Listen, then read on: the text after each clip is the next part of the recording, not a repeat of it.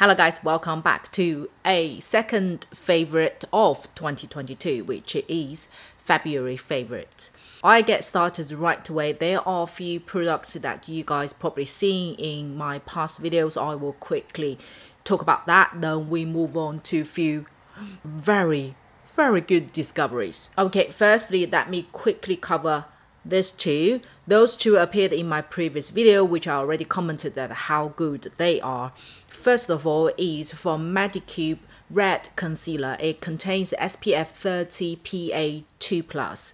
This concealer I find is very similar like Tarte shaped concealer.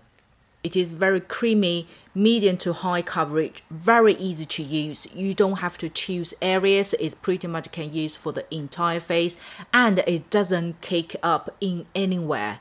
Unless you are extremely dry skin, you may need to make sure that your skin are well hydrated. But other than that, if you are normal skin or towards oily skin, this concealer at least on my face, it hasn't creased up in anywhere. I use it for full face. Today I use it for the under eye area and it has no creases whatsoever. If you want to see the miracle and detail side about this concealer, I will link my last video over here. You can certainly check it out. Um, this concealer, the one thing I find is it's better to use after the foundation rather than before. If you do it before the foundation, it, it does still moves a little bit after you apply the foundation. Not so much, but I find the best way to use it is to use after the foundation. The second one appeared in my last video as well is from Maybelline, which is their new Hyper, Hyper Sharp Liquid Eyeliner. The design is absolutely gorgeous, very, very sleek. And I love this most is the tip. It is soft enough for you to actually draw your waterline. In order to achieve that, you need to tick at least two boxes. One is the tip is soft and hard enough for you to glide between your lashes. And secondly is you need the pigmentation of the liquid is strong enough. Because if it's a little bit watery or a little bit uneven you will see the patchiness easily to create it on your lashes. But this one oh, is super super good it's very easy to do different type of lines. If you want more precise, you want to draw the wings. Oh, this is so easy, so easy to maneuver. And this also lasts long. Because recently I got very, very dry eyes. I don't know why, whether because the weather change itself. And I pretty much use eye drops on daily basis. And this liquid eyeliner has no smudge whatsoever. Since I got Maybelline's one, I haven't touched Kiss Me's liquid eyeliner for a while. I don't know whether this is just for the Asian market or you can actually buy this in Europe or America as well. So if you are still struggling of getting a non-smudge liquid eyeliner, try Maybelline's this new one. Remember the shape. Remember the shape. Next, let me share my favorite foundation from last month. It's from Guerlain. It is their Gold Radiance foundation and my color is double zero. Guerlain this golden packaging foundation is not new. It's been in the market for so long. To be honest, this is not a overly surprised foundation. One is because of the, you know, the name and the price attached with it, you, your expectation is obviously going higher. But the B is because the more I use it, the more I feel I find the similarity of this foundation. And then I compare this one with my favorite Gucci foundation. I find two of them are pretty much identical. Identical. Let me first show you the formulation. Okay. This side is Guerlain and this side is Gucci. From the swatches, you already can tell the texture and the formulation, two of them looks very, very similar. If you really want to see the difference, Guerlain's one is slightly lighter compared to Gucci's one. And the smell, both of them, identical. They smell exactly the same.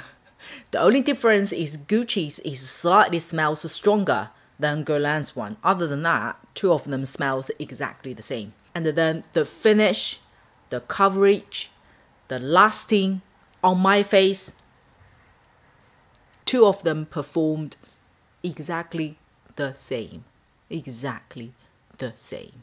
This is the most important reason I included this one in my favorite. Although it's not a surprisingly good foundation, it just because the same as Gucci's foundation, the overall performance, like in summary, it is a good foundation to use. Pore minimizing is kind of a blur, is about 50 to 60%. The finish is like a skin finish.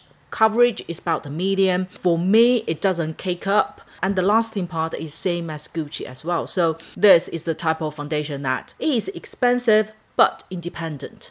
So it doesn't really rely on what primer you used or what setting powder you used, what face cream you use. This pretty much perform and steadily perform well on its own. To be honest, unless you are extremely dry or extremely oily skin, I think 80% of us will be suitable for this foundation. If you after high-end foundation and you have similar expectation as myself, I would recommend to choose either Gucci or Guerlain's one. The next one is a liquid eyeshadow from 3CE and my color is EL002.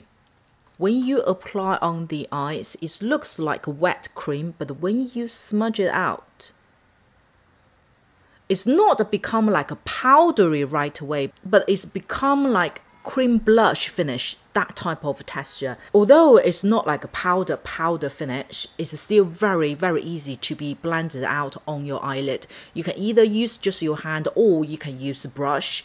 It can spread out evenly. And besides, look at the color. It's beautiful like salmon, coral, little bit of paddle pink, in there. It's a beautiful base color as well as a individual eyeshadow on its own because this color can be built up. Like today's eye look, I mainly just use this liquid eyeshadow. So all I did is dot this in the middle of the eyes, smudge it out into the entire eyelid, and then dot a little bit more towards the out corner, then add more color from the out corner and inward, then apply the same for the bottom of the eyes and give you a absolutely beautiful natural daily look. But I have to say, a little goes a long way. for this product although look at the size is only this tiny it can last you pretty much forever. You only need a couple of tiny dots to blending out this color on your eyelid. And let me show you to build up. I will just put it over here. I just put a one dot over here. Just the tiny dot, yeah? Then you smudge out. Can you guys see how strong the pigmentation is? Once it's set completely there is no stickiness whatsoever. It's just similar like you applied like Colourpop and a lot of brand that they have um, like mashed potato that type of eyeshadow formulation. Once it's being spread out on your eyelid the finish is very similar like that. And on my eyes it lasts long. It doesn't get smudges. Even with like eight nine hours after that it doesn't get sink into my double eye line. It just remain as it is. And it's somehow waterproof because, as I mentioned, I've been putting eye drops quite recently, and this one doesn't disappear from my eyes. Very highly recommend to try liquid eyeshadows. It's very easy to use. You don't need too much techniques. You just blend in the same area as you would blending a powder eyeshadows. But to find a good liquid eyeshadows, yeah, we, we, we need to try some more. We need to try and learn. But 3CE's formulation, highly recommend. The last one is my most, most exciting discovery last month. Is this brow pencil. It's from brand called Hao Zhu Zhuang Zhuang Hao Zhuang Hao Zhuang I think that's how to pronounce at least from like you know the Chinese pinyin spelling. Anyway, I never heard about this brand. I've only seen this on Wei Ping. And I saw the design of this eyebrow pencil. I was just like, you know what? I just buy and try to see. First of all, let's have a look the design. It is a very you guys must have seen this type of eyebrow pencil. It comes like that. So here already been cut and sharpened. And then what I did is I just made it the other side like made it even sharper. Can you see the angle over here? Make it even sharper. Therefore, when you draw your eyebrow, use the tip of it, it can draw very, very natural eyebrow. Let me put on the hand. I should draw, this way. Can you guys see? Do you get what I mean? Even for people like me who is not a professional makeup artist and I can draw some individual hair like that, the most importantly is originally when I first time doing the swatches on the hand, I really like it because I can see the color right away and it's very slim enough and easy to manage. But at the same time, I was thinking myself that is this product a little bit too soft because the pigment when you do on the hand is already this strong is it going to be like very difficult to do it on the eyebrows? It is not. Instead, it is very, very easy to be corrected as well. Today's eyebrows, I used this pencil itself. So all I did is to draw individual brow hair, followed my brow shape. Then I fill up the gap between the fake drawn eyebrow hairs. Although when you look at my eyebrows, it's like, oh, it seems a little bit you know, too fakey and strong. And all you need to do is just smudge out with a normal brow comb or brow brush. And it's become like very foggy, but at the same time, you still see the hint of individual brow hair and make your brow look so natural, especially when you look at me in person. You just feel my brow are born this way. It is even easier to use compared to liquid brow pencil. Guys, I don't know whether you guys be able to find this type of brow pencil through Amazon properly or just find a similar, mine is random brand. Just find a random brand like this. All you do is take a small sharp knife. Just be careful with your hand.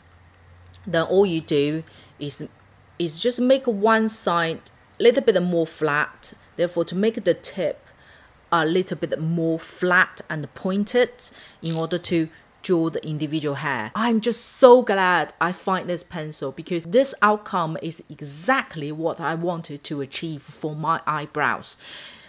Before, without discovering this, in order to achieve something like this, I have to use brow gel, brow powder, brow pencil, and liquid brow pen to achieve something like this. Nowadays, I just need to use one pencil. One pencil. Uh, but one thing I need to say that it may not work for beginners as you do need to have fairly steady hand to draw individual hair. But if you already, you know, fairly comfortable to draw your brow shape and use brow products, I highly recommend to try this pencil. The second monthly favorite is completed. Thank you so much for watching and I also would love to know your guys' favorite. If you guys have any new discoveries or find something you really really like it please please do leave your comments down below. I will be glad to check it out. Thank you once again for watching. If you like today's video please do click the like button and most importantly to subscribe my channel. I will see you on my next video